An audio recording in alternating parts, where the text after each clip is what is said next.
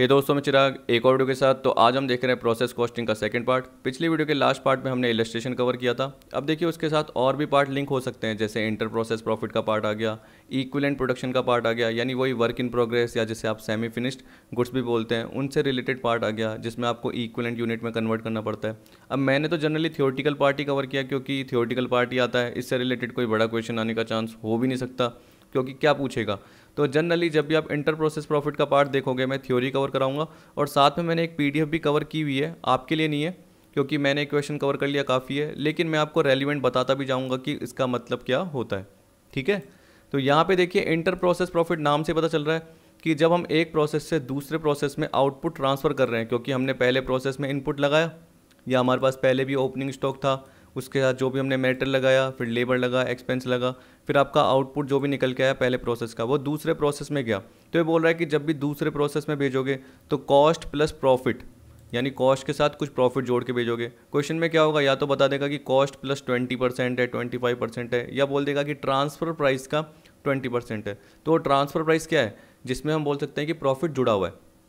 Transfer price क्या है, जिसमें प्रॉफिट जुड़ा हुआ है। तो जनरली ये क्यों देखा जाता है? क्योंकि देखिए, हर प्रोसेस का ये देख सकते हैं कि प्रॉफिट हो रहा है या लॉस हो रहा है, ये देखने के लिए कि अगर मान के चलो कि सेकंड प्रोसेस यानी चार प्रोसेस होते थे और फ़र्स्ट प्रोसेस में गया फ़र्स्ट प्रोसेस से सेकंड प्रोसेस में गया सेकंड प्रोसेस से जो भी आउटपुट निकला, हम देखना चाहते हैं कि अगर इसको मार्केट में बेचेंगे तो इसको प्रॉफिट होगा या लॉस होगा। कुछ चीज़ें ऐसे होती है, आप देखते हो कि सेमी फिनिश्ड बेस में भी बेची जा सकती है। या हम बोल सकते हैं कि हम क्या कर रहे हैं, कुछ असेंबली का पार्ट कर रहे हैं। उस केस में क्या हो गया प्रोसेस वन से सेकंड में सेकंड से थर्ड में। लेकिन हमें क्या करना है, उसके पर्टिकुलर कंपोनेंट को ही बेचना है। तो हम प्रोसेस सेकंड की कॉस्ट देखना चाहते हैं।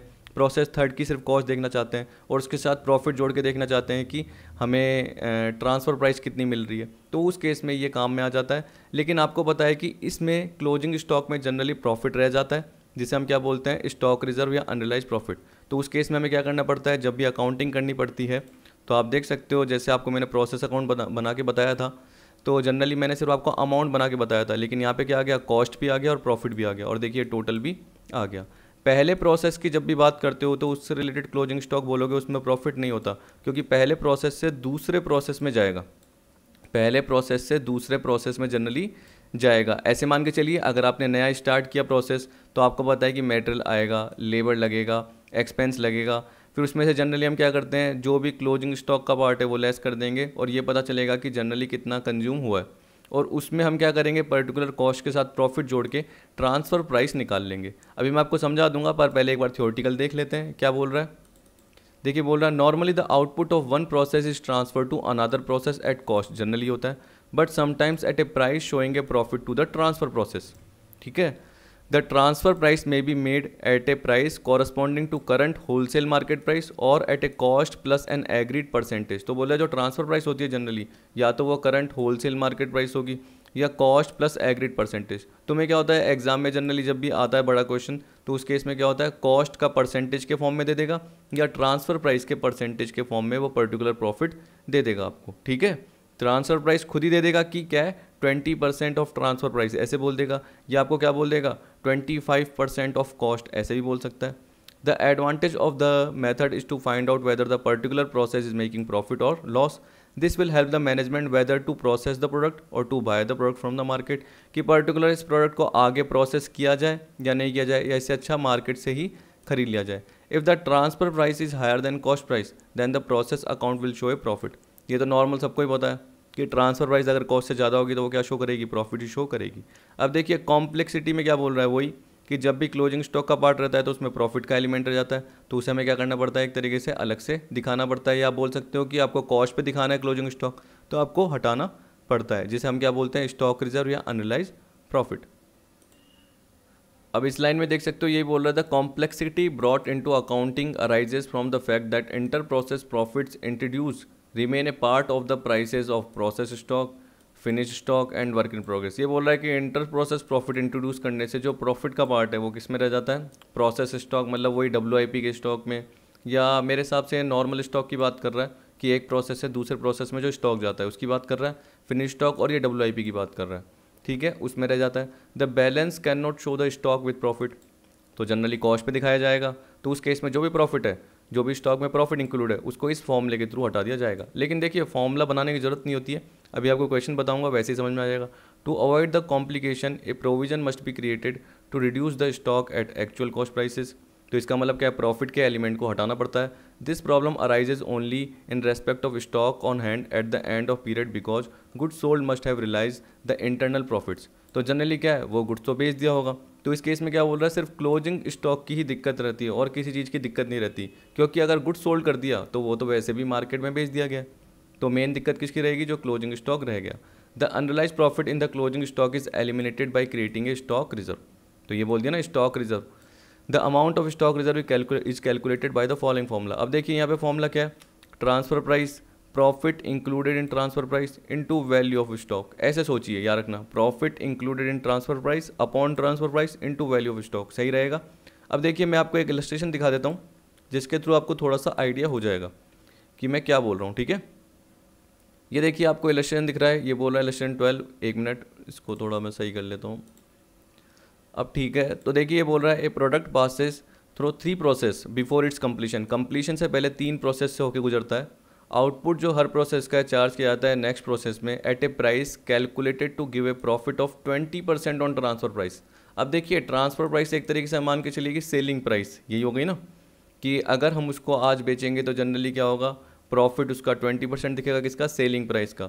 तो सेलिंग प्राइस हंड्रेड, ये मान के चलिए, प्रॉफिट ट्वेंटी है तो कॉस्ट जो होगी वो क्या होगी? एट्टी तो आपको पता है कि अगर कॉस्ट का प्रॉफिट देखना है तो twenty upon eighty into hundred कर लीजिए तो कितना आएगा? Twenty five percent of cost profit कितना है? ट्रांसफ़र प्राइस का ट्वेंटी परसेंट और कॉस्ट का कितना है?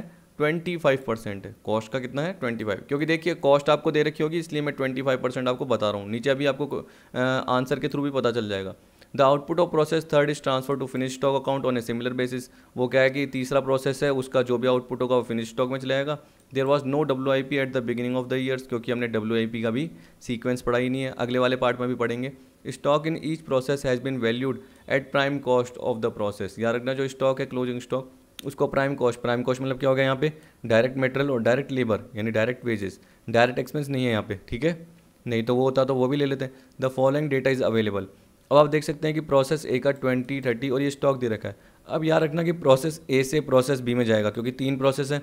तो ये जो टेन थाउज़ेंड का पार्ट है, इसमें जनरली प्रॉफिट नहीं है, क्योंकि शुरू शुरू का प्रोसेस है ना इसमें प्रॉफिट नहीं होगा, क्योंकि आपको पता है कि ट्रांसफ़र किया जाएगा। तो यहाँ पे जनरली जो ये होगा, ये तो क्या होगा, एक तरीके से क्लोजिंग स्टॉक कॉस्ट भी होगा। प्रोसेस बी में प्रॉफिट होगा, इसमें प्रोसेस सी में, क्योंकि प्रोसेस ए से प्रोसेस बी में गया जोड़ के। तो प्रोसेस बी के बाद जो क्लोजिंग स्टॉक होगा, उसमें प्रॉफिट होगा। प्रोसेस सी के बाद जो क्लोजिंग स्टॉक होगा, उसमें प्रॉफिट होगा। ठीक है? और प्रोसेस सी से इसके पास गया तो फिनिश स्टॉक में जो जनरली प्रॉफिट होगा, वो हम कवर करेंगे बस। तो इसका मतलब प्रोसेस ए में आपका प्रॉफिट का पार्ट नहीं रहेगा, क्योंकि प्रोसेस ए से बी में ट्रांसफ़र हो रहा है, ठीक है? तो पहले प्रोसेस में आपको नहीं दिखेगा, लेकिन फिर भी मैं आपको प्रोसेस बता देता हूँ क्या है? कि आप देख सकते हैं कि आपको डायरेक्ट मटेरियल ट्वेंटी दे रखा है डायरेक्ट वेजेस थर्टी दे रखा है। अब देखिए, यहाँ डैश डैश करके दे रखा है, क्योंकि आपको पता है कि जनरली कॉस्ट पे ही है। थर्टी प्लस ट्वेंटी कितना हो गया आपका? फिफ्टी और फिफ्टी में से आपको पता था कि क्लोजिंग स्टॉक कितना दे रखा है? टेन तो फिफ्टी में से जैसे टेन जाएँगे तो आपका क्या है फोर्टी थाउज़ेंड आया। ये प्राइम कॉस्ट दे रखी है। तो जनरली आपको क्या करना है, देखिए क्लोजिंग स्टॉक का पार्ट है, उससे रिलेटेड प्रॉफिट निकालना है, लेकिन पहले प्रोसेस में तो है ही नहीं। अब आपको बताया कि फोर्टी थाउज़ेंड का जो भी कॉस्ट का पार्ट है, उसमें जनरली क्या होता है, हमने बोला था कि twenty percent of transfer price या तो ये बोला था, या ये बोला था twenty five percent of cost ये बोला था ना? तो आपको बताया कि फोर्टी थाउज़ेंड का twenty five percent ten thousand profit तो मतलब फिफ्टी थाउज़ेंड में ट्रांसफ़र कर दिया जाता है टोटल में। जिसमें से आपको पता है कि फोर्टी थाउज़ेंड तो कॉस्ट है और टेन थाउज़ेंड प्रॉफिट है। तो आप यहाँ से देख सकते हैं कि जनरली ये जो पार्ट है, ये क्या बता रहा है? Thirty plus twenty fifty fifty में से टेन गए तो ये फोर्टी आया। ये लाइन खींच देना एक तरीके से, याद रख लेना। ठीक है? और ये thirty plus twenty fifty fifty में से टेन गई, ये फोर्टी आपको दे रखा है। अब उसमें आपने ट्वेंटी फाइव परसेंट प्रॉफिट निकाल दिया, क्योंकि ट्वेंटी परसेंट ट्रांसफ़र प्राइस का है तो ट्वेंटी फाइव परसेंट कॉस्ट का है। तो कॉस्ट का ट्वेंटी फाइव परसेंट कितना होगा? Ten thousand. ये आ गया फिफ्टी। यहाँ पे देखिए डैश हो गया और यहाँ पे टेन आ गया। प्रॉफिट वाले पार्ट में, ठीक है? फिफ्टी फोर्टी टेन ये आ गया। इधर या फिर फिफ्टी फोर्टी टेन आ गया। अब अगले प्रोसेस में देखिए, पर उससे पहले मैं आपको मटेरियल बता देता हूँ क्या क्या है। नहीं तो आप वापस देखोगे। ये थर्टी ट्वेंटी और देखिए स्टॉक ट्वेंटी है। अब ढंग से देख लेना। देखिए, आपको पता है कि पर्टिकुलर ये जो प्रोसेस बी में ट्रांसफ़र किया गया है तो एंट्री का होगी process B to process A अब आपको दिख रहा है कि इसमें जो कॉस्ट है वो कितने की है? फोर्टी की है। पर इसके साथ साथ और भी जुड़ा है प्रोसेस बी में। तो आप देख सकते हो कि ये फिफ्टी फोर्टी टेन ये टू प्रोसेस ए आ गया। अब मेटल देखोगे, ये जनरली जुड़ा। वेजेस ये जुड़ी। टोटल मिला के कितना हो गया? नाइन्टी तो जो पहले प्रॉफिट किस पे था? टेन थाउज़ेंड अपॉन फिफ्टी पे था। ठीक है? ये ट्रांसफ़र प्राइस हो गई एक तरीके से। क्योंकि कॉस्ट प्लस प्रॉफिट है तो ये क्या हो गई? ट्रांसफ़र प्राइस हो गई। लेकिन अब वही क्या हो गया? टेन अपॉन वन लैख हो गया। तो जब भी आप क्लोजिंग स्टॉक का वैल्यूशन कर रहे हो तो टोटल करके कीजिए। कहने का मतलब प्रोसेस बी का पार्ट बोल रहा हूँ तो प्रोसेस बी के पास क्या आया? प्रोसेस ए का आया। इसके अलावा प्रोसेस बी में और मेटल जुड़ा, और वेजेज लगी। तो टोटल मिला के कितना पार्ट आ गया आपका? वन लैख का पार्ट आ गया। और वन लैख क्या है? ट्रांसफ़र प्राइस पे। नाइन्टी कॉस्ट है और टेन थाउज़ेंड प्रॉफिट है। तो आप क्या बोलोगे? Ten thousand upon one lakh कि ट्रांसफ़र प्राइस वन लैख है। उसमें प्रॉफिट कितना है? टेन तो क्लोजिंग स्टॉक की जो वैल्यू है, वो कितनी है? ट्वेंटी थाउज़ेंड की है। तो उस पर अनरलाइज प्रॉफिट कितना होगा? टू थाउज़ेंड मतलब एक तरीके से ये क्या डिनोट कर रहा है? Ten thousand upon one lakh into hundred ten percent denote कर रहा है। तो आपका प्रॉफिट कितना है? टेन परसेंट है। तो क्लोजिंग स्टॉक में कितना होगा? टेन परसेंट ट्वेंटी थाउज़ेंड का टू थाउज़ेंड रुपीज़ ठीक है? तो ट्वेंटी में से टू गए, बाकी एटीन थाउज़ेंड आ गया। अब देखिए, आपको पता है कि वन लैख में से ट्वेंटी गए तो एटी थाउज़ेंड आपकी प्राइम कॉस्ट निकल के आ गई। प्रॉफिट तो आपको पता चल गया। क्लोजिंग स्टॉक का, जो आप बोल सकते हो कि अनरलाइज प्रॉफिट है या जिसको आप स्टॉक रिज़र्व बोल सकते हैं। वन लैख में से ट्वेंटी गए एट्टी नाइन्टी में से एटीन गए सेवेंटी टू, आ गया। टेन में से टू गए एट। तो सेम कवर हो रहा है सेवेंटी टू प्लस एट, क्योंकि टू थाउज़ेंड के एलिमेंट को आपने हटा दिया। अब देखिए, ये जो एटी थाउज़ेंड का कॉस्ट पे इस पर ट्वेंटी फाइव परसेंट क्या होगा? प्रॉफिट जुड़ के जाएगा। तो आप देख सकते हैं, वन लैख हो रहा है, ये सेवेंटी टू हो रहा है, और यहाँ पे जो ये प्रॉफिट का पार्ट है, टोटल मिला के ट्वेंटी एट हो रहा है। तो यहाँ देख सकते हैं, ये पार्ट आ गया। इस तरीके से अगले प्रोसेस में जाएगा, प्रोसेस सी में। तो बस मेरे को यही बताना था आपको। अब चाहे आप ये वाला प्रोसेस भी देख लीजिए, इसमें जनरली आपको ऊपर देखोगे तो आपको डायरेक्ट मेटल दिखेगा स्टॉक दिखेगा, वो डायरेक्ट वेजेस दिखेगी। स्टॉक आपको जो दिखेगा वो थर्टी थाउज़ेंड का दिखेगा। एक बार मैं ऊपर क्वेश्चन में आपको बता देता हूँ। ये देखिए टेन थाउज़ेंड का मेटेरियल फोर्टी की वेजेस और थर्टी का आपको क्लोजिंग स्टॉक दिख रहा है, ठीक है? तभी मैं बोलता हूँ कि ये क्वेश्चन सिंपल होता है, वो तो क्या होता है कि आप क्या है कैलकुलेशन नहीं करते हो, ज़्यादा इस चक्कर में आपको टिपिकल लगने लग जाते हैं। तो देखिए, आप ये देखोगे सेवेंटी टू प्लस टेन और ये फोर्टी आ गया ना वन लैख ट्वेंटी टू और आपको पता है कि वन लैख के साथ भी टेन जुड़ेगा और फोर्टी जुड़ेगा तो एक तरीके से वेरीफाई साथ में होता जाएगा और ये ट्वेंटी एट ठीक, अब आपको पता है कि twenty eight upon one lakh fifty पे तो थर्टी पे कितना होगा? तो कितना निकल के आएगा? कैलकुलेटर पे करके देखना twenty eight upon one fifty पे twenty eight thousand upon one fifty पे तो इंटू थर्टी थाउज़ेंड पे कितना होगा? करके देख लेना फिफ्टी सिक्स हंड्रेड आपका आ जाएगा। थर्टी में से फिफ्टी सिक्स लेस करें तो बाकी twenty four four thousand cost four hundred cost का पार्ट है। अब देखिए, जैसे ये लेस किया तो प्राइम कॉस्ट आ गई। प्राइम कॉस्ट में क्या करा आपने? ट्वेंटी फाइव परसेंट प्रॉफिट देख लिया थर्टी और वो यहाँ ट्रांसफ़र कर दिया। फिर वो क्या आ जाएगा? वो फिनिश स्टॉक में चले आएगा। क्योंकि आप देख सकते हैं प्रोसेस सी था। प्रोसेस सी है तो एंड हो गया। थर्ड प्रोसेस एंड था। सारा का सारा पार्ट फिनिश स्टॉक में जाएगा। अब आप फिनिश स्टॉक में देख सकते हो कि फिनिश स्टॉक में कोई भी ऊपर मेटेरियल नहीं है। कोई भी वेजेस नहीं है। ऐसा थोड़ी है क्योंकि आपको पता है कि वो तो फिनिश्ड है। तो उसमें डायरेक्ट मेटेरियल वेजेस थोड़ी होगी क्योंकि वो तो बन चुका है। तो उस केस में आपका स्टॉक का पार्ट रह सकता है। तो आपको स्टॉक फिफ्टीन थाउज़ेंड दे रखा था ऊपर, चाहे देख लेना। अब आपको पता है कि क्या बोलोगे? Fifty two thousand four hundred upon one fifty पे। तो फिफ्टीन थाउज़ेंड पे कितने होंगे? Fifty two thousand four hundred upon one fifty पे तो फिफ्टीन थाउज़ेंड पे कितने होंगे? उसका ten percent five two four zero ठीक है? जैसे ये लेस करोगे तो ये कॉस्ट निकल के आ जाएगी। ये वन थर्टी फाइव आ गया। ठीक? अब इसमें जनरली क्या है कि जो सेल की है ना क्वेश्चन में बोल रखा है, उसके बेसिस पे निकलेगा। जो भी प्रॉफिट का पार्ट है ना, जैसे 180 और 135 का डिफरेंस ये 45 निकल के आ जाएगा। ये आपको 45 दे रखा है, ये टोटल करोगे तो ये यहाँ पे निकल के आ जाएगा।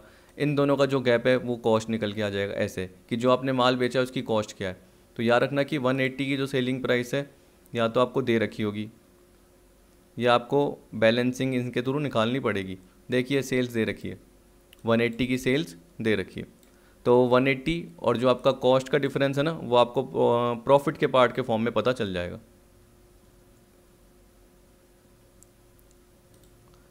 ये आप देख सकते हैं कि 180 का पार्ट है आपका और आप देख सकते हो ये 135 तो यहाँ पे आपका ग्रॉस प्रॉफिट 45 दिख रहा है।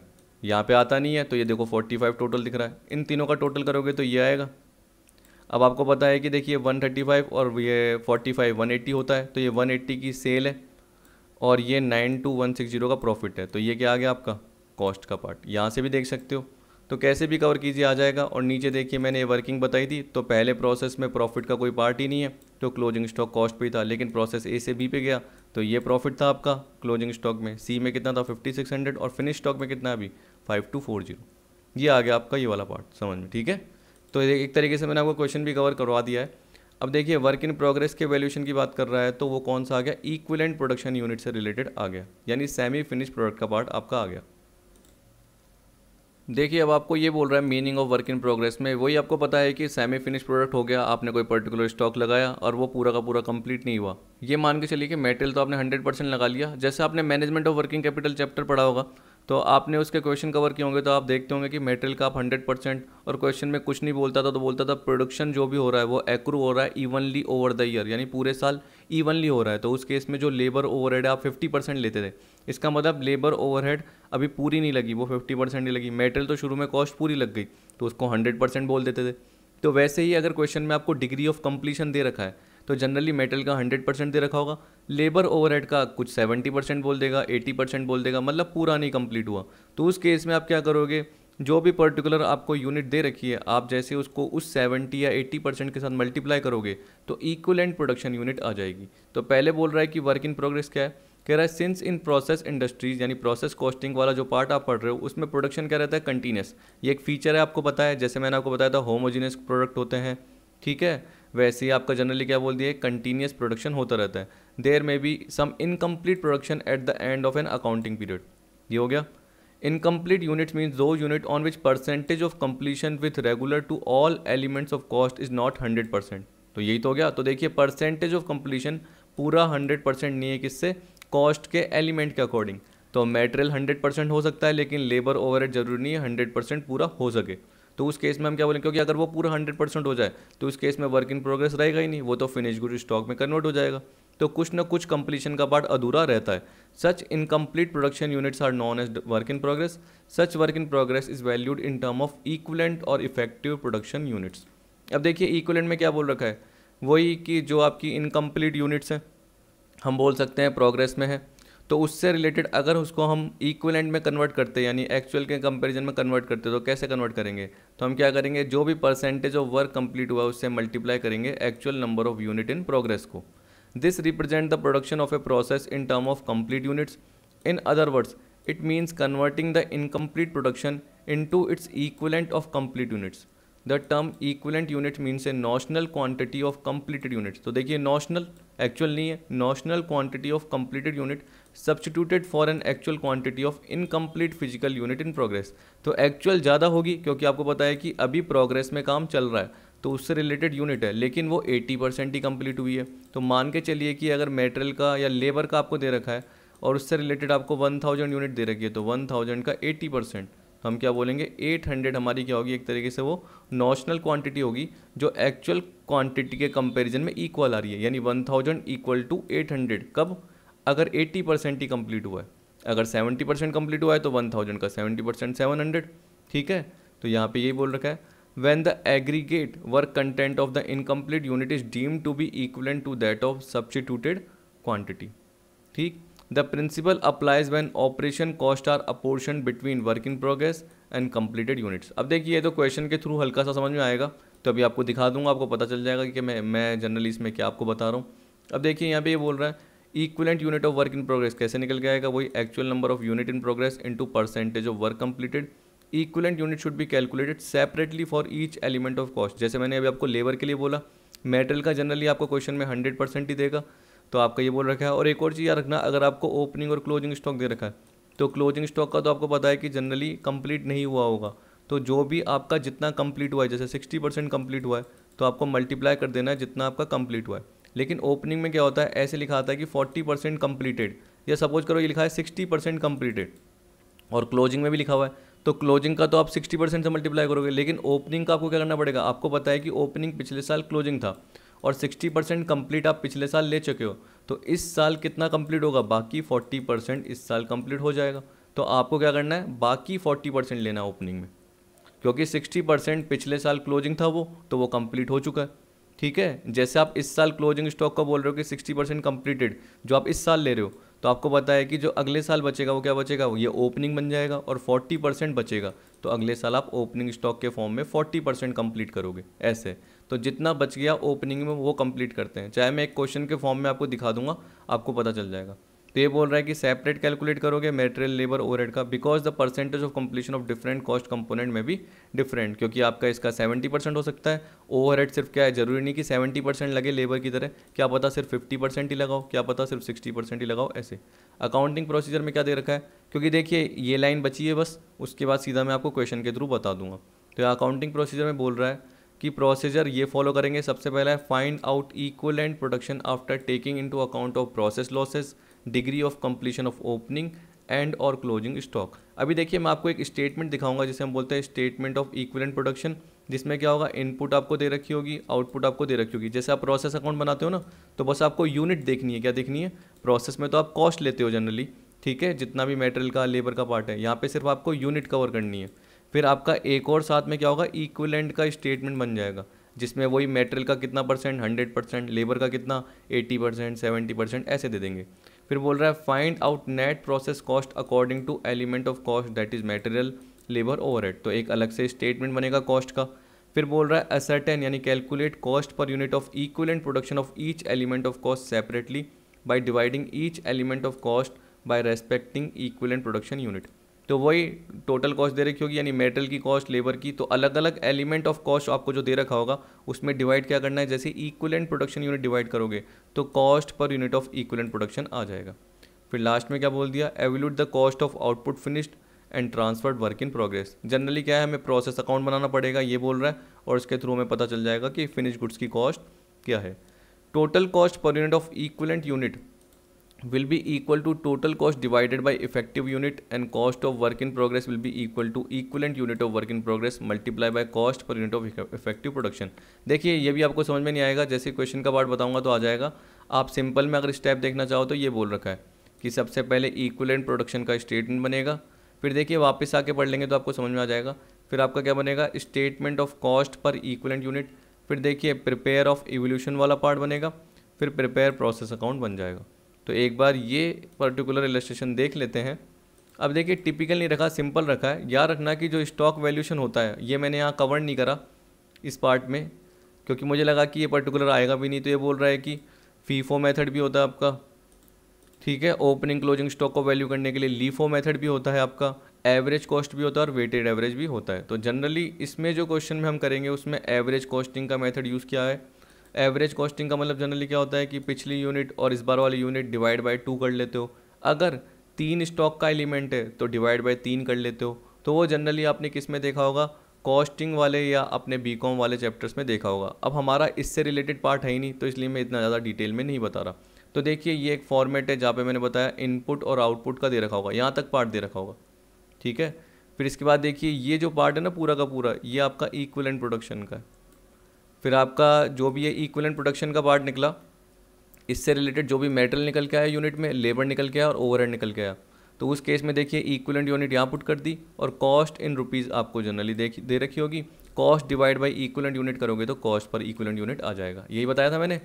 फिर आपका तीसरा पार्ट है स्टेटमेंट ऑफ़ इवेल्यूशन का पार्ट उसमें जनरली आपको क्या दे रखी है? यूनिट कंप्लीटेड और क्लोजिंग वर्क इन प्रोग्रेस का पार्ट आपको दे रखा है। तो यहाँ पे देखिए ये तीनों पार्ट दे रखे हैं। वैसे ही क्लोजिंग वर्क इन प्रोग्रेस से related material labour over overhead abnormal loss से रिलेटेड पार्ट दे रखे हैं। तो आप देख सकते हैं कि कॉस्ट पर इक्वलेंट यूनिट और यहाँ पे आपकी इक्वलेंट यूनिट का पार्ट दे रखा होगा। मल्टीप्लाई करोगे तो क्या निकल के आ जाएगी? कॉस्ट निकल के आ जाएगी। और टोटल कॉस्ट क्या होगी? मेटेरियल लेबर ओवरहेड ये मिला के टोटल कॉस्ट कवर हो जाएगी। अभी क्वेश्चन के पार्ट में आ रहा है तो थोड़ा आपको समझ में आ जाएगा। वैसे इतना डिटेल में आपको देखने की ज़रूरत नहीं थी। फिर भी देखिए, अगर मैं थियोटिकल पार्ट कुछ बता रहा हूँ और मेरे पास है कंटेंट तो मैं तो आपको प्रोवाइड कराऊँगा ही कराऊँगा। चाहे उसमें क्या उनको फिफ्टीन या ट्वेंटी मिनट ज़्यादा भी लग जाए। Prepare a statement of equivalent production statement of cost process account from the following information using average costing method opening stock आपको दे रखा है। मेटेरियल लेबर ओवर दे रखा है। Twenty five ten twenty five तो देख सकते हो टोटल मिला के आपका जो हो गया opening stock fifty thousand unit है और इसकी जो कॉस्ट है वो कितनी है? सिक्सटी थाउज़ेंड की यार ठीक है? यहाँ पे कुछ नहीं बोल रखा। तो मेरे हिसाब से तो ये हंड्रेड परसेंट कंप्लीट ही होगा। अगर आपको बोलता कि यार सिक्सटी परसेंट ही कम्प्लीटेड हुआ तो इस साल जो ओपनिंग स्टॉक है वो कितना कंप्लीट हो जाएगा? फोर्टी परसेंट कंप्लीट हो जाएगा। जो तो जो तो होना ही है, सीधी सी बात है। पर यहाँ पे ये बोल रहा है कि कुछ भी नहीं है लिखा हुआ तो इसका मतलब हंड्रेड परसेंट ही आपका एक तरीके से क्या है, इसमें दिखाया जाएगा। Twenty five, ten, twenty five. अभी देखिए नीचे आपको पता चल जाएगा, पूरा हंड्रेड परसेंट दिखाया जाएगा। फिर यूनिट इंट्रोड्यूस कितनी दे रखी है? कि साल के दौरान यूनिट कितनी इंट्रोड्यूस की गई? टू लाख यूनिट इंट्रोड्यूस की गई। या जो भी पीरियड दे रखा है उसके दौरान। मेटेरियल दे रखा है वेजेस दे रखा है ओवर दे रखा है, ठीक है? अमाउंट में दे रखा है। During the period one lakh fifty thousand units were completed and transfer to process second अब प्रोसेस वन से प्रोसेस टू में कितनी गई? वन फिफ्टी तो आप देख सकते हैं कि पहले फिफ्टी थाउज़ेंड यूनिट थी, फिर टू लाख यूनिट इंट्रोड्यूस हुई। टोटल मिला के कितनी हो गई? टू फिफ्टी हो गई। टू फिफ्टी में से कितने गए? वन फिफ्टी गए। तो बाकी कितने बचे? वन लैख। तो वन लैख क्या है? क्लोजिंग स्टॉक यहाँ दे रखा है। डिग्री ऑफ़ कंप्लीशन देखिए मेटल की हंड्रेड परसेंट लेबर की फिफ्टी परसेंट और ओवर की फोर्टी परसेंट अच्छी बात है अलग अलग दे रखा है ताकि आपको समझ में आ जाए। और मेटल मैंने जनरली क्या बोला था? हंड्रेड परसेंट होता है क्योंकि वो इनिशियली ही लग जाता है। ये बोल सकते हैं रॉ मेटेरियल है, वो लग गया। अब आपको पता है कि लेबर जो जनरली यूज़ हो रही है, वो कैसी यूज़ हो रही है? हर प्रोसेस में यूज़ हो रही है और ओवर भी क्या हो रहा है? धीरे धीरे होता जा रहा है। तो तब तक कितना हुआ था? सिर्फ़ फिफ्टी परसेंट और फोर्टी परसेंट ही हुआ था। अब देखिए, पहला फॉर्मेट देखिए। आपको देखिए कि ये फिफ्टी थाउज़ेंड बताया और टू लैख बताया। ओपनिंग और यूनिट इंट्रोड्यूस कंप्लीट कितनी हुई? वन फिफ्टी तो टू फिफ्टी में वन फिफ्टी गए तो ये क्लोजिंग स्टॉक निकल आया। ये आपका बन गया स्टेटमेंट ये नॉर्मल यहाँ तक का स्टेटमेंट अब देखिए इक्वलेंट में material percentage unit percentage unit ये दे रखा है। आप देख सकते हैं कि ओपनिंग स्टॉक का जो भी पार्ट है वो हंड्रेड परसेंट है हंड्रेड परसेंट है हंड्रेड परसेंट मैंने ये बोला था। तो आप ये देखिए कि जो आपकी हमें ये ध्यान रखना पड़ता है कि याद रखना कि इस साल कितना एक तरीके से यूनिट काम में आई। तो आप देख सकते हैं इंट्रोड्यूस तो ये भी है, लेकिन यूनिट क्या हुई है? कंप्लीट ये भी है। और क्लोजिंग स्टॉक क्या ये है? तो आपको जनरली ये दो पार्टी तो देखने तो आप देखिए वन लैख फिफ्टी का हंड्रेड परसेंट इस वन लैख फिफ्टी का। इस वन लैख फिफ्टी का हंड्रेड परसेंट इस लैख वन फिफ्टी का वन लैख फिफ्टी का हंड्रेड परसेंट मेटल में भी लेबर में भी और ओवरहेड में भी, क्योंकि ये ओपनिंग स्टॉक के रिलेटेड है। ऐसे बोल सकते हैं ना हम। अब आप देख सकते हैं, एक मिनट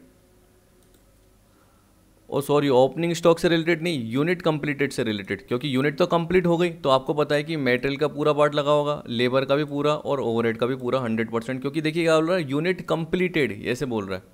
तो इसका मतलब अगर आपका जो सेमी फिनिश प्रोडक्ट का पार्ट या डब्ल्यू आई पी पार्ट बचा हुआ होगा तो वो क्लोजिंग स्टॉक से रिलेटेड होगा। अब आप देख सकते हैं कि वन लैख यूनिट से रिलेटेड पार्ट है, जिसमें से आपने ऊपर देखा था इस वाले पार्ट में डिग्री ऑफ़ कंप्लीशन वाले पार्ट में हंड्रेड परसेंट मेटेरियल का।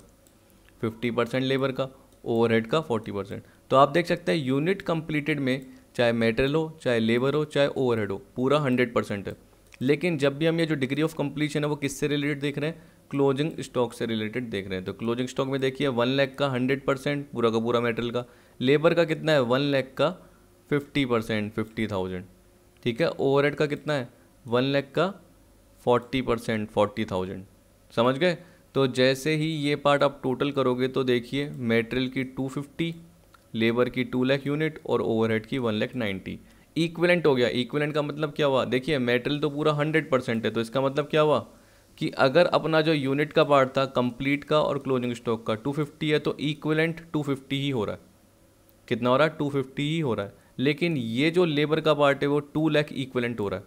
क्योंकि इसमें जो काम हुआ है, वो हंड्रेड परसेंट तो क्या यूनिट कंप्लीटेड का है. लेकिन क्लोजिंग स्टॉक से रिलेटेड फिफ्टी परसेंट ही कंप्लीट हुआ है और ओवर से रिलेटेड फोर्टी परसेंट हुआ है। तो ओवर से रिलेटेड कितना हो गया टोटल मिला के? Two lakh fifty unit is equal to one lakh ninety तो एक तरीके से हमने इक्वलेंट यूनिट निकाल ली। आ गया? अब आपको दे रखा है statement of cost statement of cost में आपको ये पता है कि मेटेरियल से रिलेटेड ओपनिंग कॉस्ट क्या थी? ये थी ट्वेंटी फाइव ठीक है? और ये क्या इंट्रोड्यूस की गई? वन लाख रुपीज़ की। ये टेन थाउज़ेंड और ये सेवेंटी फाइव ये ट्वेंटी फाइव और ये सेवेंटी तो ये एक बार ढंग से देख लेना नीचे। क्योंकि हमें यही पता नहीं रहता कि पर्टिकुलर क्या दे रखा है। तो आप देख सकते हो ट्वेंटी फाइव और वन लैख टेन थाउज़ेंड और seventy five twenty five thousand और सेवेंटी यही दे रखा है, ठीक है? अब देखिए क्या करना है टोटल कर लीजिए, ये टोटल दिख रहा है, ये टोटल दिख रहा है, ये टोटल दिख रहा है। आप जैसे ही इक्वलेंट यूनिट से मल्टीप्लाई करेंगे तो देखिए मेटेरियल से रिलेटेड कितनी थी? 250 थी। लेबर से रिलेटेड कितनी थी? इक्वलेंट टू लैख थी। और ओवर से रिलेटेड कितनी थी? वन लैख नाइन्टी डिवाइड करेंगे तो कॉस्ट पर यूनिट निकल के आ जाएगी। अब आपको बताया कि इसके बाद तीसरा जो स्टेटमेंट है, वो स्टेटमेंट ऑफ़ इवेल्यूशन का है, जो मैंने आपको ये फॉर्मेट दिखाया था। अब याद रखना, देखिए स्टेटमेंट ऑफ़ इवोल्यूशन का पार्ट बोलेंगे तो यूनिट जो कंप्लीट है तो आप बोलोगे, सर, ये अलग अलग बनाना ज़रूरी कि नहीं? क्योंकि आप सोचिए कि मेटेरियल से रिलेटेड भी पूरी की पूरी उतनी यूनिट थी, one lakh fifty thousand unit complete हुई। लेबर में भी पूरा हंड्रेड परसेंट और ओवरहेड में भी पूरा का पूरा हंड्रेड परसेंट, क्योंकि यूनिट कंप्लीटेड के लिए तो हंड्रेड परसेंट होता है, लेकिन क्लोजिंग के लिए क्या है? मेटेरियल का हंड्रेड था, लेबर का कितना था? फिफ्टी परसेंट और ओवर का कितना था आपका? फोर्टी परसेंट, ऐसे था। तो जो मेटेरियल लेबर ओवरहेड का है, ये अलग देखिए क्लोजिंग में। लेकिन यहाँ पे तो चाहे आप 150 का कर सकते हैं, क्योंकि आपको पता है कि देखिए कॉस्ट पर इक्वलेंट यूनिट आपने अभी निकाल ली। तो आप देख सकते हैं कि जो अलग अलग निकली हुई है, क्या निकली हुई है? अलग अलग लेकिन आप जोड़ सकते हैं, किसके लिए? यूनिट कंप्लीटेड के लिए। तो आप देख सकते हैं ये अलग अलग निकली हुई है और टोटल मिला के वन हो जाएगी। लेकिन क्लोजिंग के लिए अलग अलग क्यों कैलकुलेट करेंगे? क्योंकि लेबर से रिलेटेड यूनिट अलग है ओवरहेड से रिलेटेड यूनिट अलग है। समझ गए? तो इसलिए स्टेटमेंट ऑफ़ इवोल्यूशन में आप जाके देखोगे तो आपको पता चला कि यूनिट इंट्रोड्यूस एंड ट्रांसफ़र में मटेरियल वेजेस ओवरहेड अलग नहीं किया गया और पूरा का पूरा 150 यूनिट इंटू वन क्योंकि जो ये कॉस्ट है, इसमें मेटेरियल भी है वेजेस भी है और ओवरहेड भी है। जैसे ही मल्टीप्लाई करोगे, ये टोटल कॉस्ट निकल के आ गई। क्लोजिंग का पार्ट देखोगे? क्लोजिंग में देखिए, अगर आपने कैलकुलेट जब किया था क्योंकि देखिए, आपको पूरा पार्ट पता रहना चाहिए। तो ये देखिए, जब आपने ये इक्वलेंट प्रोडक्शन का पार्ट कैलकुलेट किया था तो आपने वन लैख का क्या करता हंड्रेड परसेंट तो मेटेरियल में एक लाख आया था। आपने वन लैख का फिफ्टी परसेंट किया था तो लेबर में फिफ्टी थाउज़ेंड आया था। वन लैख का फोर्टी परसेंट तो ओवरहेड में फोर्टी थाउज़ेंड आया था। समझ गए? तो देखिए वन लैख आ गया फिफ्टी आ गया और फोर्टी का पार्ट आ गया। और आप देख सकते हैं कि देखिए मेटेरियल में क्या था? ये यूनिट कंप्लीटेड में हंड्रेड हंड्रेड हंड्रेड था। तभी मैंने क्या बोला कि one fifty into point fifty one fifty into जो भी कॉस्ट आ रही है कितनी आ रही है? पॉइंट फोर टू फाइव ये दिख रही है। इसी तरीके से 150 फिफ्टी इंटू पॉइंट फिफ्टी तो इससे अच्छा क्या करूँ? 150 fifty into one point four two five करूँ ना यूनिट कंप्लीटेड में तो। इसलिए यूनिट कंप्लीटेड में इसने क्या कर लिया? पूरा का पूरा एक साथ कर दिया मल्टीप्लाई टाइम वेस्ट नहीं करा, और मेटेरियल लेबर ओवरहेड जो क्लोजिंग से रिलेटेड है, उसमें अलग अलग किया। क्योंकि तीनों में क्या थी? अलग यूनिट थी तो मेटेरियल का पूरा वन लैख इसका वन लैख का फिफ्टी परसेंट और इसका वन लैख का फोर्टी परसेंट तो ये फोर्टी थाउज़ेंड ये फिफ्टी थाउज़ेंड मल्टीप्लाई कर दिया कॉस्ट पर यूनिट से। अलग अलग जो दे रखी है तो आपकी ये कॉस्ट निकल के आ गई ये। टोटल किया तो ये टोटल कॉस्ट है थ्री लैख फाइव थाउज़ेंड अब उसके बाद इसने प्रोसेस अकाउंट बना दिया। देखिए प्रोसेस अकाउंट में इतना सोचने की ज़रूरत नहीं है। आप देख सकते हैं कि opening stock fifty thousand unit था। आप बोलोगे, सर, ये कहाँ से आ रही है? आप जाके देखना, ऊपर आपको दे रखा था twenty five thousand rupees ten thousand और ट्वेंटी फाइव समथिंग ऐसे दे रखा था। उसका टोटल करके देखना सिक्सटी थाउज़ेंड जो मैंने शुरू शुरू में आपको बताया। मेटेरियल आप देखोगे टू लैख यूनिट इंट्रोड्यूस की गई है, जिसकी कॉस्ट आपको दे रखी है। ठीक है? कॉस्ट आपको दे रखी है, ऊपर जाके देख लेना, ये क्वेश्चन में दे रखी है पार्ट में। लेबर दे रखा है ओवरहेड दे रखा है। ठीक? ये आपको देखना है। अब आप देखना कि जो पर्टिकुलर पार्ट हमने ये स्टेटमेंट ऑफ़ इवोल्यूशन बनाया तो वन लैख फिफ्टी से रिलेटेड क्या है? और जो क्लोजिंग का पार्ट है, उससे रिलेटेड कॉस्ट कितनी है? तो देखिए वन लैख फिफ्टी से रिलेटेड कितनी है? और जो क्लोजिंग स्टॉक है, उससे रिलेटेड कॉस्ट कितनी है? टोटल मिला के ये थ्री लैख फाइव आ रही है, और यहाँ पे भी आपका पूरा का पूरा पार्ट थ्री लैख फाइव आ रहा है। ठीक? तो इसका मतलब क्या हुआ? आपका कोई भी पार्ट इसमें गलत नहीं हुआ। अब आप बोल सकते हैं कि सर, जैसे ये स्टेटमेंट का पार्ट देखा, इसमें क्या इतना टिपिकल नहीं था? लेकिन आपने फॉर्मेट में जो दिखाया है फॉर्मेट का पर्टिकुलर पार्ट कि ओपनिंग और यूनिट अब ये कंप्लीटेड आपने दिखाया और क्लोजिंग स्टॉक दिखाया था। क्या दिखाया था? क्लोजिंग स्टॉक लेकिन नॉर्मल लॉस भी हो सकता है और एब नॉर्मल लॉस भी हो सकता है। आप देखेंगे नॉर्मल लॉस की जनरली देखिए, कहीं पर भी बस या यूनिट दे रखी है, यहाँ तक का। इक्वलेंट में कहीं भी इसका स्थान नहीं है। तो जनरली नॉर्मल लॉस से रिलेटेड इक्वलेंट वाले पार्ट में नहीं आएगा, क्योंकि आपको पता है कि उससे कॉस्ट पर यूनिट बढ़ जाती है। क्यों? क्योंकि हम कॉस्ट में से उस पार्ट को लेस नहीं करते, जबकि एबनॉर्मल लॉस की हम अकाउंटिंग करते हैं। अकाउंटिंग करते हैं तो उस केस में क्या होगा? आपका कॉस्ट में से भी पार्ट कम होगा और यूनिट में से भी कम होगा। तो कॉस्ट पर यूनिट आपकी सेम ही रहेगी तो इसका भी आपको इक्वलेंट करना पड़ेगा। मेटल के केस में लेबर के केस में, जिसके भी केस में आपको करना पड़ेगा इक्वलेंट ठीक? अब इसका इतना डिटेल में नहीं बता रहा, लेकिन फिर भी आपको पार्ट कवर करना है तो आप मेरे से क्वेश्चन ले सकते हैं पीडीएफ के फॉर्म में, और आपको ज़्यादा कवर करना है तो कर सकते हैं। अब देखिए, मैं आपको एक पार्ट बस ये बता रहा हूँ कि ओपनिंग स्टॉक का कंप्लीटेड, इनकम्प्लीटेड, इसका जनरली क्या पार्ट है? एक क्वेश्चन मुझे दिख जाए बस, एक मिनट। हाँ ये रहा। देखिए, ये बोल रहा है कि अगर 1000 यूनिट में 60 परसेंट कम्प्लीटेड है, ऐसे पार्ट दे दिया ना तो जनरली जो आप स्टेटमेंट ऑफ़ इक्विलेंट प्रोडक्शन का पार्ट बनाते हो, जिसमें जनरली आप क्या बोलते हो कि यूनिट कितनी इंट्रोड्यूस हुई ओपनिंग कितना है तो देखिए ओपनिंग वर्क इन प्रोग्रेस का पार्ट वन थाउज़ेंड और ये कितना है टेन थाउज़ेंड अब आप देख सकते हैं कि जो इक्विलेंट परसेंटेज है तो वन थाउज़ेंड का फोर्टी परसेंट तो इस साल कितना करेंगे? फोर्टी परसेंट क्योंकि आप देख सकते हैं, ऊपर क्या बोल दिया कि वन थाउज़ेंड में सिक्सटी परसेंट कंप्लीट हो गया। तो इस साल कितना कंप्लीट होगा? फोर्टी परसेंट अब देखिए क्लोजिंग कितना है? सेवेंटी फाइव परसेंट कंप्लीट हुआ है। तो एट हंड्रेड का ये डायरेक्ट सेवेंटी फाइव परसेंट क्योंकि ये क्लोजिंग है। जबकि ओपनिंग पिछले साल क्लोजिंग था तो इसका मतलब वो पिछले साल अपन ने सिक्सटी परसेंट लिया था एंड में। वन थाउज़ेंड का सिक्सटी परसेंट मतलब सिक्स हंड्रेड तो इस साल कितना लेंगे? फोर हंड्रेड कवर करेंगे। तो यही पार्ट आपको नीचे दे रखा है कि इसका अपन ने 40 परसेंट फोर हंड्रेड जबकि 800 का हमने 75 परसेंट जितना कंप्लीट हो गया। ठीक है? इसमें कितना कंप्लीट हो गया था? 60 परसेंट लेकिन इस साल कितना कंप्लीट होना है? 40 परसेंट और इसमें कितना कंप्लीट हो गया? क्लोजिंग में 75 परसेंट हो गया। ठीक? तो देखिए एब नॉर्मल लॉस का पार्ट भी आपको दे रखा है, उसको भी आपको इक्वलेंट में कन्वर्ट करना है। तो क्वेश्चन में जैसे आपको दे रखा होगा, उसके हिसाब से आपको देखना पड़ेगा। ठीक? और तो कोई इससे रिलेटेड पार्ट आपका नहीं है। जनरली जो मैंने आपको बताया, ये हो गया आपका। तो यहाँ पे यही बोल रखा है कि total cost per unit of equivalent unit will be equal to total cost divided by effective units and the cost of work in progress will be equal to equivalent unit of work in progress multiply by cost per unit of effective production यहाँ पे देखिए वही simple case क्योंकि यही बोल रखा है कि टोटल कॉस्ट को किससे डिवाइड किया? इफ़ेक्टिव यूनिट से, जो कि हमने अपने केस में किससे डिवाइड किया था? कि जो भी पर्टिकुलर कॉस्ट था, उसको हमने इक्विलेंट यूनिट से डिवाइड कर दिया था तो कॉस्ट पर यूनिट निकल के आ गई थी। तो यही बोल रहा है कि cost per unit of equivalent unit क्या है? जो भी हमने इफ़ेक्टिव यूनिट्स कैलकुलेट की थी, क्योंकि अगर हम लेबर के केस में ओवर के केस में देखेंगे तो उसमें आपका जो डिग्री ऑफ़ कंप्लीशन है वो पूरा नहीं था। तो उस केस में आपने जो भी निकाला, उसके बेसिस पे आपका इक्वलेंट यूनिट्स का पार्ट आ गया था। यही देखा था आपने? ठीक है? फिर इसके अलावा ये भी बोल रखा है कि मल्टीप्लाई होगा। क्या? Cost of work in progress will be equal to equivalent unit of work in progress progress multiplied by cost per unit of effective production. तो आप देख सकते हैं कि जो equivalent unit of work in progress निकली है, उसको कॉस्ट पर यूनिट जो हमने निकाली ऊपर, उससे मल्टीप्लाई कर दिया। तो हमारी क्या निकल के आ गई? Cost of work in progress निकल के आ गई, जो कि क्लोजिंग स्टॉक से रिलेटेड थी। तो आप देख सकते हो कि यही तो मल्टीप्लाई किया था कि वन लैख को हमने पॉइंट फिफ्टी से, फिफ्टी थाउज़ेंड को पॉइंट फोर टू फाइव से, फोर्टी थाउज़ेंड को पॉइंट फिफ्टी से, जो कि हमने ऊपर अभी कॉस्ट पर यूनिट निकाली थी। तो उससे मल्टीप्लाई करा और ये निकल के आ गया। और आप देख सकते हैं कि दोनों साइड में थ्री लैख फाइव और थ्री लैख फाइव टोटल आ रहा है। तो आपकी कोई गलती है ही नहीं इसमें। मैच कर गया। इस तरीके से आपका पार्ट आता है। अब देखिए, आपका जो पार्ट बचा है वो ऊपर बचा है। सारा का सारा वैसे हो गया है। लेकिन जो बचे हैं वो मेन तीन पार्ट और बचे हैं थियोरटिकल क्योंकि देखिए थियोरटिकल पार्ट बहुत ज़्यादा आता है तो ये कवर कराना ज़रूरी था। अब देखिए, जब भी आप क्या करते हैं नोट्स देखते हैं तो सी ए सी एस या किसी भी रेफरेंस बुक के देखते हो तो उनके ही जनरली क्या आते हैं, आपके लिमिटेशन फीचर ये सब आ जाते हैं। तो मैं कवर ही पर्टिकुलर वो कराता हूँ। अब क्या होता है कि देखिए, मेरे पास इतने ज़्यादा रिसोर्स नहीं है कि मैं आपको पावर पॉइंट की प्रेजेंटेशन के थ्रू एक पर्सन आ रहा है, फिर वह जा रहा है, इस तरीके से प्रोवाइड कराऊँ। क्योंकि अगर वो मैं बनाने बैठूँगा तो एक पर्टिकुलर पीडीएफ को बनने में या पावर पॉइंट की प्रेजेंटेशन को बनने में बहुत ज़्यादा दिन लग जाते हैं। तो उनके पास तो क्या है मैन पावर भी है, जो पर्टिकुलर कोचिंग है। तो वो सारा वो रिसोर्सेज अप्लाई कर लेती है। लेकिन वो आपको क्या करती है कि लिमिटेड वीडियो ही प्रोवाइड करती है, इतनी ज़्यादा वीडियो प्रोवाइड नहीं करती जितनी मैं पर्टिकुलर प्रोवाइड कर रहा हूँ आपको। तो उस केस में क्या करता हूँ कि मैं आपको सारे के सारे प्रोवाइड करने की कोशिश करता हूँ।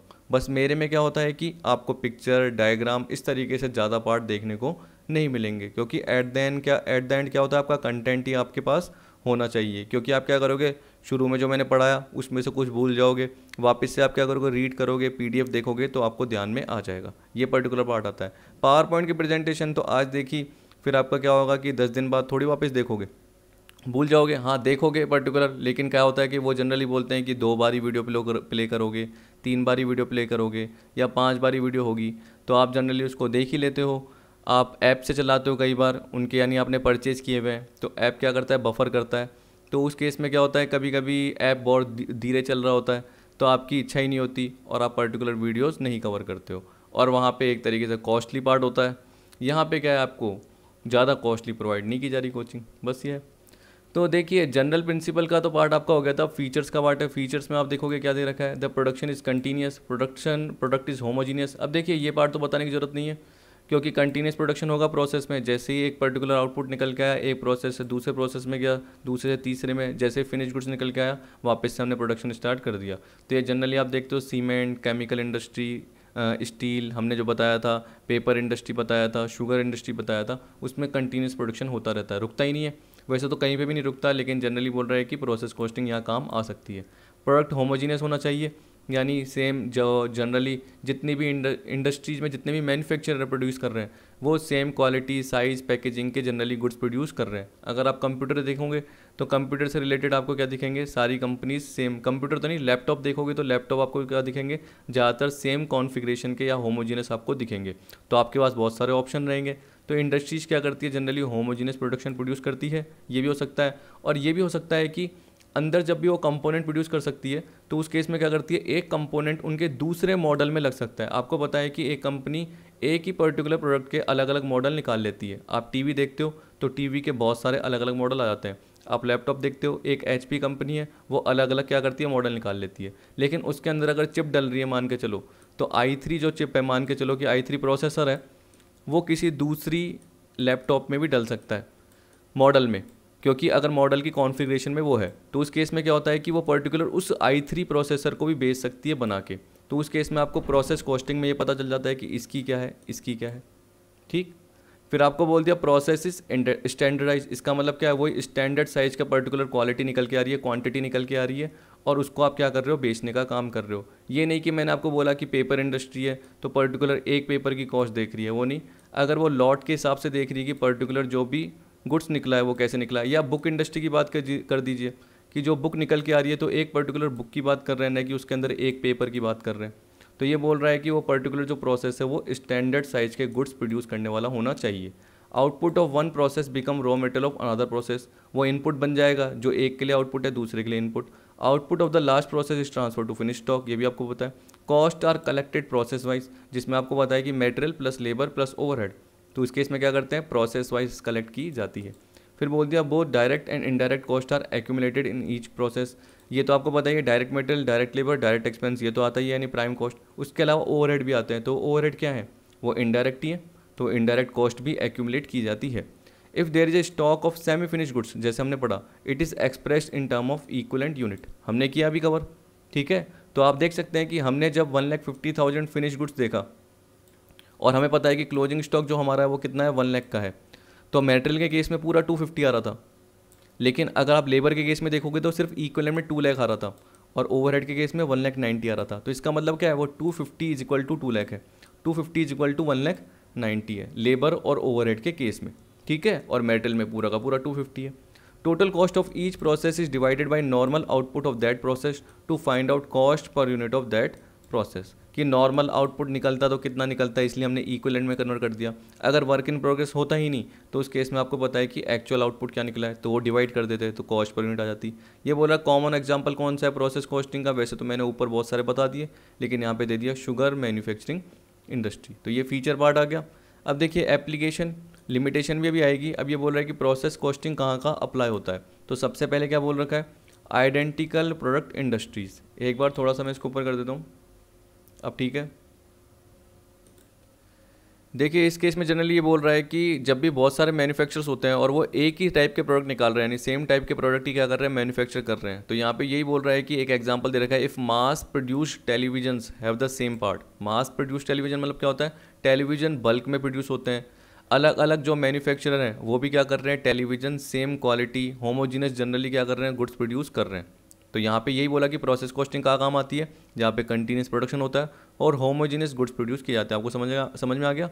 Manufacturers can assign consistent prices to products based on how much the products cost to manufacture overall तो जनरली क्या होता है कि जब भी ये टी वी जो भी मैन्युफैक्चर कर रहे हैं तो पर्टिकुलर हर कंपोनेंट का पार्ट अगर वो मैन्युफैक्चर कर रहे हैं तो अलग बात है। अगर उनको लग रहा है कि कॉस्ट ज़्यादा है क्योंकि हर प्रोसेस की कॉस्ट पता चल जाती है तो बाहर से वो कंपोनेंट बाई कर सकते हैं। जैसे मैंने आपको क्या बोला कि कंप्यूटर बन रहे हैं तो उसमें अगर सीपीयू का एलिमेंट है तो सीपीयू के अंदर भी बहुत सारे पार्ट आते हैं। अगर सीपीयू टोटल मिला के आपको मैन्युफैक्चरिंग में टेन थाउज़ेंड का पड़ रहा है, क्योंकि आपको कॉस्ट पर यूनिट पता चल गई कि पर यूनिट की कॉस्ट कितनी है। और आपको पता है कि डायरेक्टली ही आप बाय उसी क्वालिटी का एट थाउज़ेंड में कर सकते हो। तो आप उसको बनाना प्रेफर नहीं करोगे, आप सीधा खरीदना। तो प्रोसेस से ये पता चल जाता है, ठीक? तो ये जनरली आपको दे रखा है कि मैन्युफैक्चर एक तरीके से क्या कर सकते हैं प्रोडक्ट की कंसिस्टेंट प्राइस पता कर सकते हैं कंपोनेंट की क्या प्राइस आ रही है और ओवरऑल मैन्युफैक्चरिंग करने पर क्या कॉस्ट आ रही है, वो पता कर सकते हैं। और देखिए, हर पर्टिकुलर जैसे सप्लायर होगा वो भी क्या करेंगे? दूसरे सप्लायर से ही मैं सप्लायर नहीं, जो भी बायर होगा, वो सप्लायर से क्या करेगा? खरीदने की करेगा। तो आपको पता है कि आप टीवी मैन्युफैक्चर हो, सामने वाला भी टीवी मैन्युफैक्चर है। तो अगर आपको रॉ मटेरियल चाहिए तो आप भी क्या करोगे? उसी सप्लायर से खरीदोगे, जो दूसरा भी खरीद रहा है। ठीक है? ज़्यादातर यही होता है। जनरली देखोगे कि एक ही सप्लायर क्या करता है? कईयों को सप्लाई करता है बायर्स को। तो वो भी केस हो सकता है। तब जाके क्या होगी? कंसिस्टेंट प्राइस ही होगी। प्राइस में इतना ज़्यादा फ्लक्चुएशन नहीं होगा। फिर सेकंड क्या बोल दिया? इंडस्ट्रीज़ विथ मल्टीपल डिपार्टमेंट्स देखिए, वो डिपार्टमेंट हो गया। एक डिपार्टमेंट जैसे मैंने आपको कल एग्जांपल बताया था कि अगर पेपर इंडस्ट्री होती है तो वो क्या करती है? सबसे पहले लकड़ी मिल से पल्प निकालती है। पल्प के बाद क्या करती है? उसको बीट करती है। बीट के बाद क्या करती है? पेपर बना देती है, ये बोल रहा है। अब वो पेपर क्या होता है? फिनिशिंग वाला नहीं होता। रॉ फॉर्म में होता है एक तरीके से। बन तो गया, लेकिन उसमें फिनिशिंग नहीं हो रखी होती। तो फिनिशिंग करती है, ये सारा पार्ट आ गया। ठीक?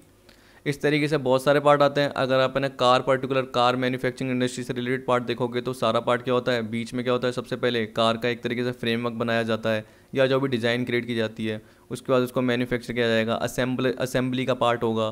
फिर उसके बाद उसकी हम बोल सकते हैं कि फिनिशिंग का पार्ट होगा। वो सारा पार्ट कवर धीरे धीरे करके होता रहता है। तो एक तरीके से बहुत सारे प्रोसेस होते हैं डिपार्टमेंट होते हैं। तो उस केस में इसको काम में लिया जा सकता है। ये बोल रहा है business that have multiple department usually use process costing so that management can assess the cost accumulated by each department cost accumulated मतलब कितना डायरेक्ट मेटेरियल लगा, कितना डायरेक्ट वेजेज लगा, कितना इनडायरेक्ट ओवरहेड लगा। यही तो है, कितना indirect material indirect labour indirect expense लगा। वो पता चल जाएगा हर डिपार्टमेंट का। फॉर एग्ज़ाम्पल जैसे मैंने आपको बताया था कि वो पल्प निकालते हैं। तो पल्प से रिलेटेड जो डिपार्टमेंट है, उसको पता चल जाएगा कि हमारी कॉस्ट क्या आ रही है। जो बीट करते हैं, उनको पता चल जाएगा हमारी कॉस्ट क्या आ रही है।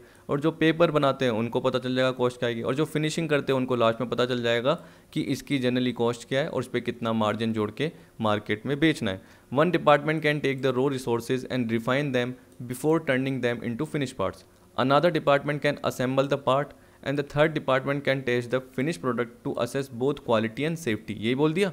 Materials might need to be shift from one department to another which may incur additional cost when the cost of production go up unexpectedly process costing can allow management to quickly pin point the department responsible for the increase cost and identify the source of increase cost अगर आपने example देखा तो आपको पता चला कि hundred rupees की cost आ रही है, लेकिन अगले वाले में कम हो जाती है।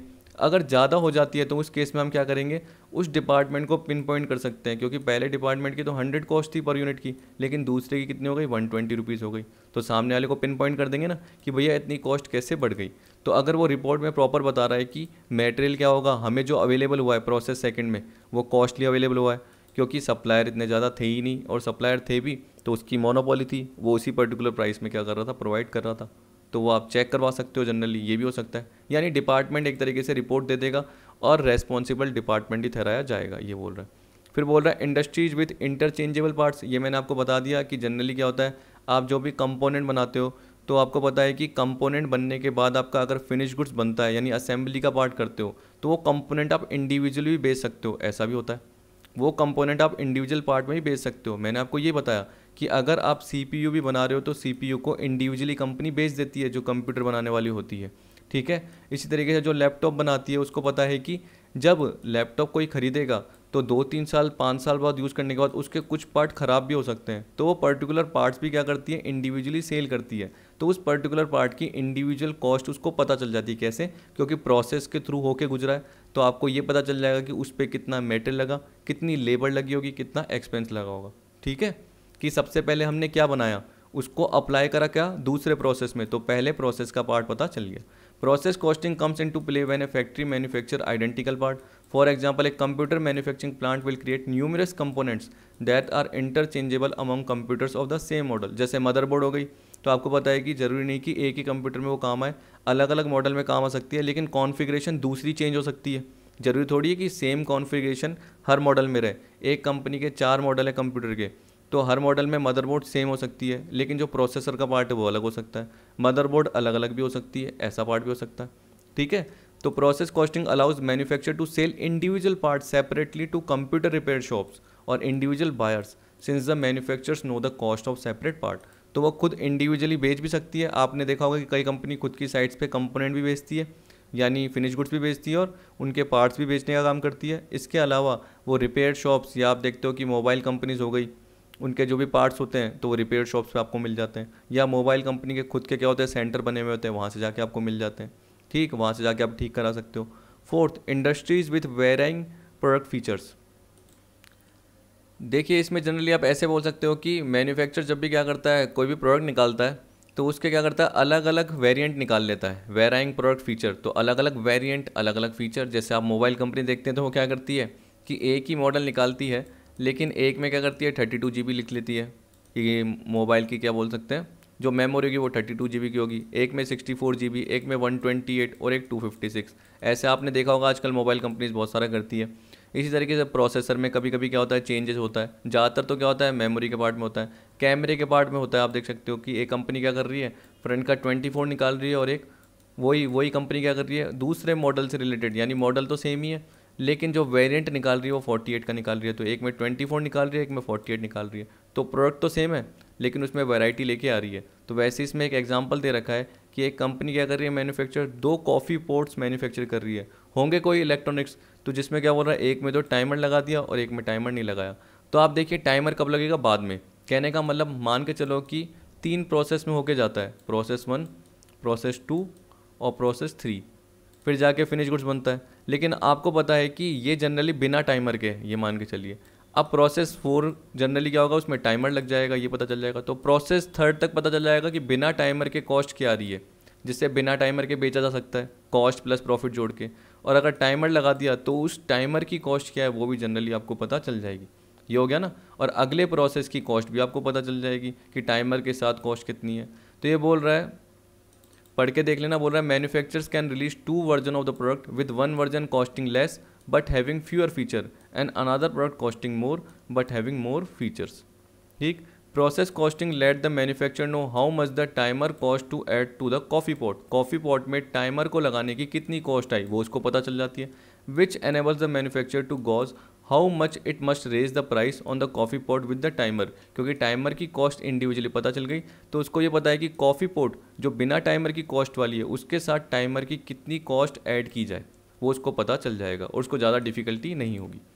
फिर आपको बोल दिया लास्ट में इनोवेटिव इंडस्ट्रीज़ प्रोसेस कॉस्टिंग वो यूज़ करती है जो ज़्यादा इनोवेशन के तरीके अपनाती है। यहाँ बोल दिया for example manufacturers cannot determine an appropriate price for a new type of product without knowing how much the product will cost to manufacture overall तो ओवरऑल जानने के लिए प्रोसेस का तरीका जानना ज़रूरी है। अब देखिए इनोवेशन का पार्ट क्यों बोल रखा है? क्योंकि एक प्रोसेस फिर दूसरा प्रोसेस यहाँ यहाँ, फिर तीसरा प्रोसेस अब ये आपका पुराना प्रोडक्ट है, ठीक है? अब कंपनी ने इनोवेशन किया, उसी प्रोडक्ट को थोड़ा चेंज किया तो कंपनी को पहले पता था कि ओल्ड की क्या कॉस्ट है, और उसमें और फीचर ऐड कर दिए रिसर्च एंड डेवलपमेंट के थ्रू और पार्ट के थ्रू तो अलग से कॉस्ट और पता चल गई सेम और उसमें और फीचर ऐड करके पता चल गया कि उस नए प्रोडक्ट को जिसको रिनोवेट किया है, उसकी कॉस्ट क्या है। ठीक है? या बिल्कुल नया प्रोडक्ट भी बना रहे हैं तो एक पर्टिकुलर प्रोसेस से होके जा रहा है तो जनरली हमें इनोवेशन की कॉस्ट भी पता चल जाएगी। In addition business businesses cannot determine if a product will be profitable until they know the overall cost, so they can estimate the maximum price that customer will pay for the product. तो उस case में क्या बोल दिया कि आपको overall cost पता रहनी चाहिए, जो कि प्रोसेस के थ्रू आराम से पता चल जाती है। एडवांटेज क्या है? कि बोल रहा है कॉस्ट जो भी कंप्यूटर होती है, वो पीरियडिकली होती है at the end of a particular period ये हो गया। It is simple and involve less clerical work that job costing देखिए जनरली क्या अकाउंटिंग का वर्क जो भी होगा या जो भी ऑफ़िस से रिलेटेड वर्क होगा, अगर जॉब कॉस्टिंग का तो जॉब कॉस्टिंग में एक पर्टिकुलर जॉब है। उसमें जितने भी मटेरियल लेबर ये सारा पार्ट है, ये सारा आपको एक साथ अरेंज करना पड़ेगा। जबकि प्रोसेस में क्या है, आपको पता है कि एक पर्टिकुलर प्रोसेस की कॉस्ट पता चल गई तो उसमें हमने मटेरियल लेबर एक्सपेंस एक जगह लिख दिया। फिर दूसरे प्रोसेस का जितना मेटेरियल लगा और जितना उस पर लेबर का यूज़ हुआ तो वो एक तरीके से लेबर मिक्स मैच नहीं हुआ। यानी टोटल एक साथ नहीं आ गया, जो कि जॉब कॉस्टिंग में टोटल आ जाता है। तो जॉब कॉस्टिंग में आप क्या कर रहे हो? उस पर्टिकुलर मेटल के पार्ट को एक साथ लिख रहे हो लेबर के पार्ट को एक साथ लिख रहे हो। तो उस केस में क्या आप सारे पार्ट को एक साथ कवर कर रहे हो? जबकि यहाँ पे क्या है प्रोसेस कॉस्टिंग सिंपल है और हर पर्टिकुलर प्रोसेस की आपको कॉस्ट पता चल रही है।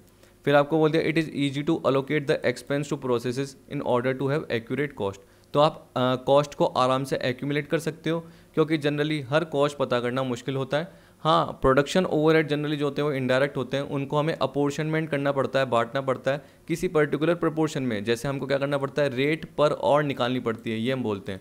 या रेट पर यूनिट निकालनी पड़ती है प्रोडक्शन निकालने के लिए। रेट पर मशीन और निकालनी पड़ती है रेट पर लेबर और निकालनी पड़ती है। मतलब कोई ना कोई हमें ब्लैंकेट रेट चाहिए होती है, ऐसे बोल सकते हैं। अगर हम पुरानी एब्जॉर्प्शन कॉस्टिंग की बात कर रहे हैं, देखिए जनरली ये पुरानी टेक्निक ही है आजकल फिर भी नहीं आने लग गई, जैसे ए बी सी कॉस्टिंग आएगी, जिसमें हर एक्टिविटी की कॉस्ट का पार्ट आता है। तो वो तो छोड़िए, क्योंकि हम प्रोसेस कॉस्टिंग के एडवांटेज पढ़ रहे हैं अभी। अगले पार्ट में वैसे आपका ए बी सी का पार्ट आएगा तो आपको समझ में आ जाएगा। तो ये बोल रहा है कि एक्सपेंस को अलोकेट आराम से कर सकते हो। स्टैंडर्ड कॉस्टिंग सिस्टम में ये बोल रहा है use of standard costing system in very effective in process costing situation तो यहाँ पे क्या बोल दिया कि स्टैंडर्ड कॉस्टिंग सिस्टम का आराम से आप यूज़ कर सकते हो प्रोसेस कॉस्टिंग सिचुएशन में। बहुत इफ़ेक्टिव है। मतलब उस केस में आप स्टैंडर्ड रेट आराम से तय कर सकते हो। क्योंकि देखिए, आपको प्रोसेस कॉस्टिंग में एक तरीके से कॉस्ट पता चल गई। अगर आप मेटेरियल लेबर एक्सपेंस को पहले से ही एस्टिमेट कर पा रहे हो स्टैंडर्ड कॉस्टिंग के थ्रू तो उस केस में आप क्या कर सकते हो? एस्टिमेटेड कॉस्ट पर यूनिट पहले से ही साइंटिफिकली निकाल सकते हो, जैसे आप स्टैंडर्ड कॉस्टिंग में लगा सकते हो। तो प्रोसेस कॉस्टिंग का भी यूज़ हो गया और उसके साथ साथ स्टैंडर्ड कॉस्टिंग का भी यूज़ हो गया। Process costing helps in preparation of tender quotation वही बोली लगती है, नीलामी लगती है। तो इस केस में पर्टिकुलर कितने में आपका, हम बोल सकते हैं कि गुड्स बिक सकता है। ठीक? तो आप कॉस्ट में कितना प्रॉफिट मार्जिन रखोगे? क्या अपने गुड्स की प्राइस कोट करोगे मार्केट में? तो उससे आपको हेल्प मिल जाएगी, एक तरीके से प्रोसेस कॉस्टिंग के थ्रू जिससे आप थोड़ा सा मार्जिन तो कमा सको। देखिए गवर्नमेंट टेंडर निकलता है तो गवर्नमेंट को क्या चाहिए होती है? कम बोली चाहिए होती है जनरली ठीक? अब वो देखो, चोरी वोरी नहीं हो, भ्रष्टाचार नहीं हो, अलग बात है, घूसखोरी नहीं हो। गवर्नमेंट जिसमें जनरली क्या करती है कि अपने ही जानकर या रिलेटिव्स जो होते हैं, उनको फ़ायदा पहुँचाने की कोशिश करती है और ख़ुद भी पैसा खाने की करती है। वो बात तो लगे लेकिन नॉर्मल अगर इंडस्ट्री होगी, अच्छी होगी तो वो क्या करेगी? एक लोअर प्राइस सेट कर पाएगी, जिस पे वो मार्जिन भी कमा पाएगी किसके थ्रू प्रोसेस कॉस्टिंग के through since cost data is available for each process operation and department good managerial control is possible तो ये बोल रहा है कि कॉस्ट डेटा हर प्रोसेस के लिए अवेलेबल है ऑपरेशन या डिपार्टमेंट के लिए अवेलेबल है तो उस केस में मैनेजर कंट्रोल आराम से अच्छा हो सकता है, ठीक? अब इसके अलावा और भी तरीके होते हैं, जैसे मैंने आपको ए बी सी कॉस्टिंग बताया, जिसमें हर एक्टिविटी का पार्ट पता चलेगा, लेकिन वो कॉस्टली होती है, क्योंकि उस केस में क्या होगा कि परचेज की एक्टिविटी का पार्ट फिर वो आगे जाने का पार्ट हो गया मेटल इशू करने का पार्ट हो गया नंबर ऑफ़ रिसर्च कितनी करी नंबर ऑफ़ कॉल कितने कस्टमर ने उठाए वो सब की कॉस्ट आपकी ए बी सी कॉस्टिंग में, यानी एक्टिविटी बेस्ड कॉस्टिंग में निकल जाती है तो वो तो आगे पार्ट आएगा। अब देखिए, यार लिमिटेशन का पार्ट दे रखा है तो सबसे पहले क्या है? Cost obtained at each process is only historical cost and are not very useful for effective control अब देखिए, अगर हमने इसमें स्टैंडर्ड कॉस्टिंग का पार्ट यूज़ ही नहीं करा, यानी हमने एस्टिमेटेड का पार्ट यूज़ नहीं करा तो जनरली हम क्या कर रहे हैं कि रियल में कितना प्रोडक्शन हुआ है? तो जनरली जो आपको कॉस्ट पर यूनिट दिखेगी, वो पास्ट वाली दिखेगी तो पास्ट वाली मतलब हिस्टोरिकल डेटा दिखेगा। ठीक तो आपको फ्यूचर कॉस्ट इसमें नहीं दिखेगी। तो इफ़ेक्टिव कंट्रोल या डिसीज़न मेकिंग इसमें आप नहीं अप्लाई कर पाओगे। मैनेजमेंट डिसीज़न नहीं ले सकता। तो उसको डिसीज़न लेने के लिए बजटरी कंट्रोल और स्टैंडर्ड कॉस्टिंग का ही सारा लेना पड़ेगा। इसका वो सारा नहीं ले पाएगा। Process costing is based on average cost method क्यों? क्योंकि डिवाइड बाय यूनिट करते हो तो क्या निकल के आती है? कॉस्ट पर यूनिट जिसको हम क्या बोलते हैं? Average cost which is not that suitable for performance analysis evolution and manager control जो कि मैंने आपको बताया कि बजटरी कंट्रोल स्टैंडर्ड कॉस्टिंग या आजकल जो आ रही है काइजन कॉस्टिंग ये पर्टिकुलर क्या होती है? एक तरीके से यूजफुल हो सकती है। Work in progress is generally done on estimated basis which lead to inaccuracy in total cost calculation अब देखिए वर्क इन प्रोग्रेस जो जनरली हुआ किसके बेसिस पे हुआ? एस्टिमेटेड बेसिस पे, कि कितना वर्क डन हो गया। ठीक, उसके बेसिस पे हमने क्या कर दिया? इक्वलेंट यूनिट में कन्वर्ट कर दिया। अब ज़रूरी थोड़ी है कि इक्वलेंट यूनिट आपकी आज निकलती है और आपका 80 परसेंट काम ही कंप्लीट हुआ है तो उतनी ही निकलती। ज़रूरी नहीं है इतना पार्ट निकले। तो ये बोल रहा है कि कभी कभी इनएक्यूरेसी होती है और उसके थ्रू कॉस्ट कैलकुलेशन भी नहीं हो पाती। ठीक? क्योंकि क्या पता जो फिनिश गुड्स निकल के आए लेबर ओवर के थ्रू अगर हंड्रेड परसेंट हो तो वो कुछ और निकल के आए, ऐसे बोल रहा है। The computation of average cost is more difficult in those cases where more than one type of product is manufactured and division of the cost element is necessary ठीक? इसमें जनरली ये बोल रहा है कि जब भी आप एक से ज़्यादा प्रोडक्ट मैन्युफैक्चर करते हो तो उस केस में एवरेज कॉस्ट कंप्यूट करना मुश्किल होता है। क्यों? क्योंकि उस केस में आपको कॉस्ट एलिमेंट को डिवीज़न करना नेसेसरी होता है। इसका मतलब अगर आपके दो प्रोडक्ट हैं, जैसे मैंने बोल दिया कि बिस्किट का भी काम है और केक से रिलेटेड काम भी है तो आपको पता है कि बिस्किट से रिलेटेड अगर दे, अलग देखने पड़ेगी, उसकी मेटल का पार्ट लेबर का पार्ट ओवर का। अगर आपने जो लेबर जो केक से रिलेटेड बनाने का काम करते हैं, वो ये भी प्रोड्यूस करते हैं तो आपको दोनों पार्ट को अलग अलग करना पड़ेगा।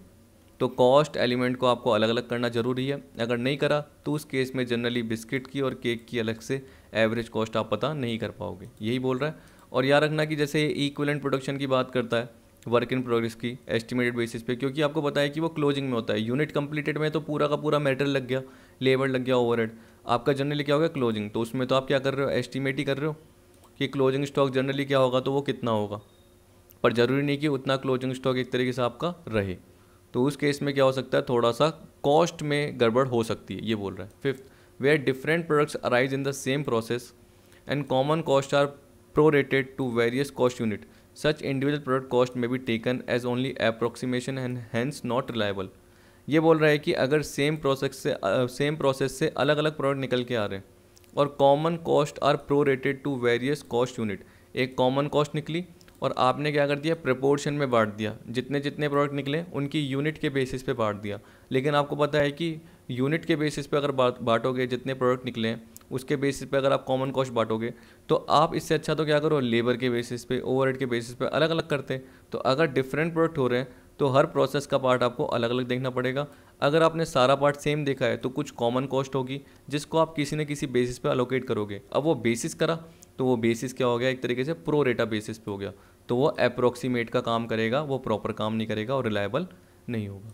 अब देखिए, मैंने ये एलिमेंट ऑफ़ कॉस्ट आपको बता दिए थे। ठीक, मेरे हिसाब से ये एलिमेंट ऑफ़ कॉस्ट का पार्ट मैंने आपको बता ही दिया था। एक मिनट, जहाँ तक मेरे को ध्यान आ रहा है। अकाउंटिंग फॉर लेबर हाँ पिछली वीडियो में मैंने आपको ये जनरली बता दिए थे। तो अब आपका सारा पार्ट हो गया है, ये प्रोसेस कॉस्टिंग से रिलेटेड था। इसके आपको पास्ट ईयर के क्वेश्चन देखने को नहीं मिलेंगे। ठीक है, क्योंकि टॉपिक जून नाइनटीन से मेरे हिसाब से ऐड हुआ है, क्योंकि मैंने पीछे के पहले कोर्स तो नहीं देखा, लेकिन एक बार आप देखना, अगर आपके पास पुरानी रेफरेंस बुक है तो उसमें आपको नहीं दिखेगा। तो हम क्या करेंगे कि आगे जितने भी कॉस्टिंग के पार्ट होंगे, दो तीन टॉपिक उसके साथ एम कवर करते जाएँगे इंपॉर्टेंट तो इसके मैं इंपॉर्टेंट कवर कर लूँगा। जैसे ए बी सी कॉस्टिंग आएगी, उसके बाद आपकी लाइफ साइकिल आएगी काइजन आएगी, जो भी आपके आगे आते जाएँगे तो दो तीन टॉपिक करते करते हम एम भी कवर कर लेंगे। तो आई होप आपको वीडियो पसंद आई होगी, वीडियो देखने के लिए। Thank you